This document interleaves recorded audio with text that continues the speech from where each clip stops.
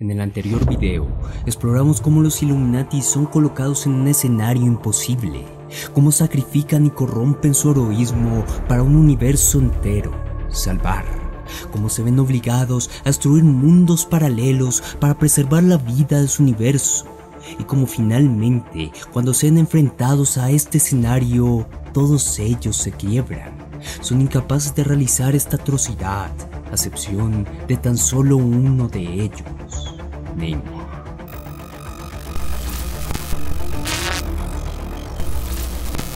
Hickman divide en ese momento en dos vertientes a los Illuminatis, unos que creen que no es correcto vidas terminar, que la moralidad y tal vez su misma conciencia tienen más peso que la supervivencia de su mundo, y otro completamente opuesto, la visión de Namor es clara cuando le reclama a sus aliados cómo pueden poner su moral antes que la vida de todo un universo.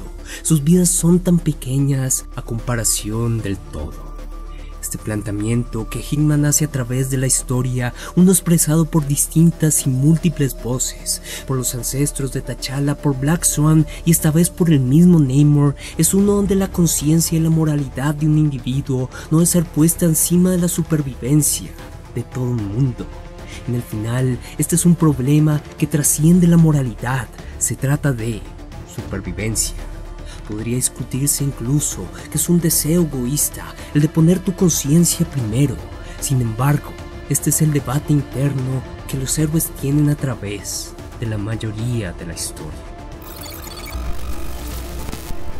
Pero Hinman lleva este argumento aún más lejos y a un punto más retorcido.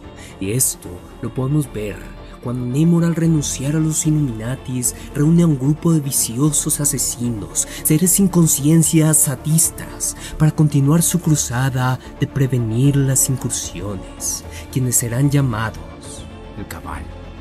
Namor lo dejan claro cuando manifiesta que se requiere de actos malvados y oscuros, algo de lo que los buenos y nobles héroes de este mundo eran tan buenos y nobles que no fueron capaces de realizar, capaces de sacrificarse en el altar. Hickman nos muestra el contraste de los dos grupos, cómo los Illuminati se aproximan al problema de las incursiones llenos de arrepentimientos y tormentos, y cómo el cabal se sumerge en la brutalidad y la crueldad, cómo no solo destruyen a un mundo, sino que torturan y asesinan a sus habitantes antes de hacerlo. Actos realmente innecesarios. Hickman nos muestra el goce que reciben al extinguir la vida de todo un planeta. Dentro de la historia hay otra tangente, otra visión de moralidad mediante la cual Hickman explora el problema. Otro grupo con el cual compara a los Illuminatis, no villanos, sino héroes.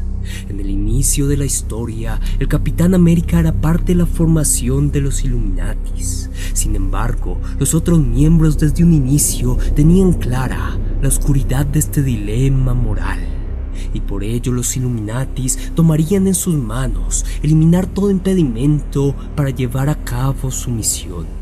Ellos eliminarían de la mente del capitán todo recuerdo de lo ocurrido, del inminente final de las incursiones.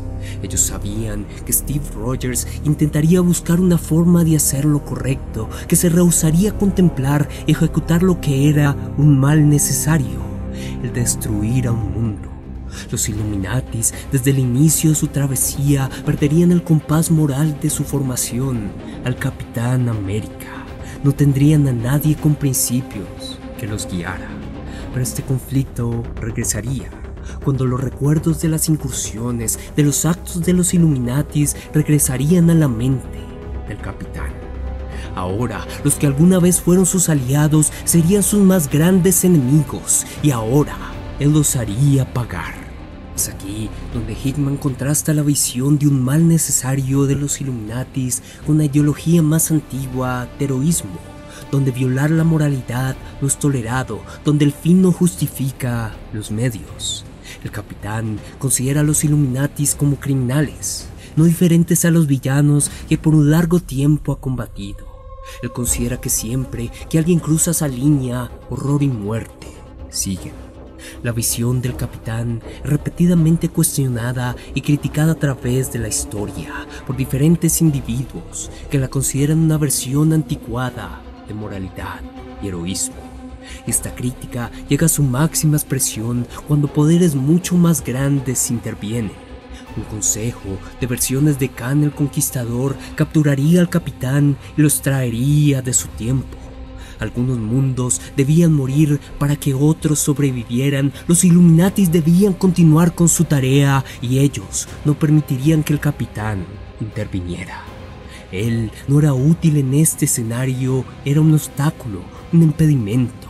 Khan lo diría en mejores palabras. La ideología del capitán estaba distinta. El capitán es el opuesto de los Illuminatis de muchas maneras. No es exactamente el cabal. El capitán se encontraba perdido en capturar y hacer pagar a los Illuminatis, incluso siendo consciente de la gran amenaza de las incursiones, insistía que los Illuminatis se entregaran a las autoridades. Su obsesión con su ideología de hacer lo correcto, de no cruzar esa línea, no le permitían dimensionar la magnitud del conflicto o ser capaz de protegernos de ello. Para él se trataba de la preservación de su alma, de su conciencia, a expensas de todo lo que amaba y existía.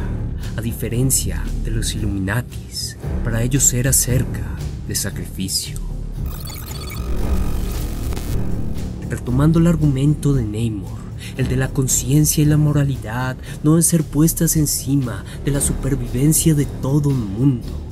Hickman lleva este argumento a otro nivel al hablar de la figura de un rey.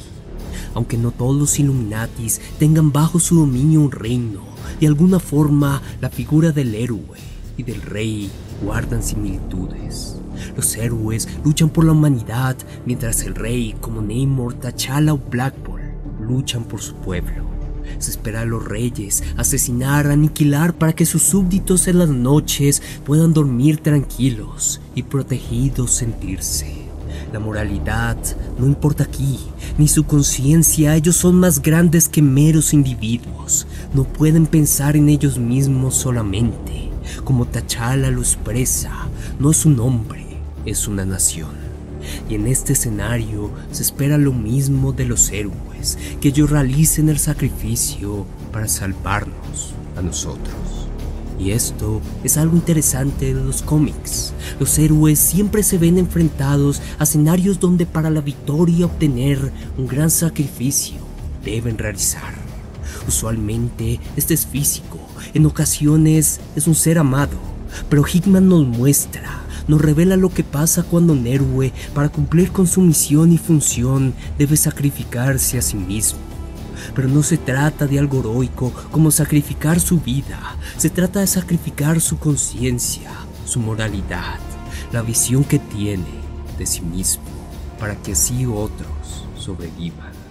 Es en ese momento que el sacrificio del héroe deja de ser atractivo, deja de ser heroico Asesinar a millones suena monstruoso, es inconcebible, pero esta historia nos hace la pregunta de qué ocurre cuando lo único que un héroe puede hacer para protegernos.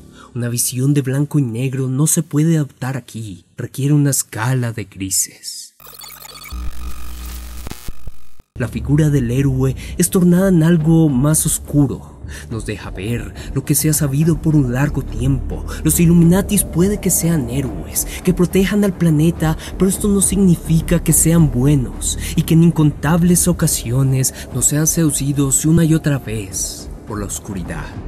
Esto Namor lo deja claro al decir que siempre han sido monstruos todos ellos, solo estaban esperando la circunstancia correcta para revelarlo pero siento que hay un comentario más profundo aquí, y es tal vez el hecho de que para ser el protector de la Tierra, tal vez se requiere la disposición a cruzar la línea de tomar una vida, un planteamiento, un dilema moral que siempre hemos visto en los cómics con la comparación de héroes y antihéroes. Tal vez el mensaje de Hickman es que hay amenazas tan grandes que escapan del reino de lo moral, que tal vez hay escenarios donde los héroes no son suficientes y un nuevo defensor ha de levantarse la figura del antihéroe. Es por eso que amo esta historia, porque Hickman nos lleva a preguntarnos si acaso importa la moralidad cuando los héroes nos están protegiendo, cuando se trata de nuestra supervivencia. Quiero saber qué opinan. ¿Los Illuminati son villanos, héroes o antihéroes? Y también quiero saber si quieren seguir viendo este tipo de contenido, si les gustaría que analizáramos otros cómics. Si quieren seguir viendo este tipo de contenido, no olviden suscribirse al canal y nos veremos en el próximo video.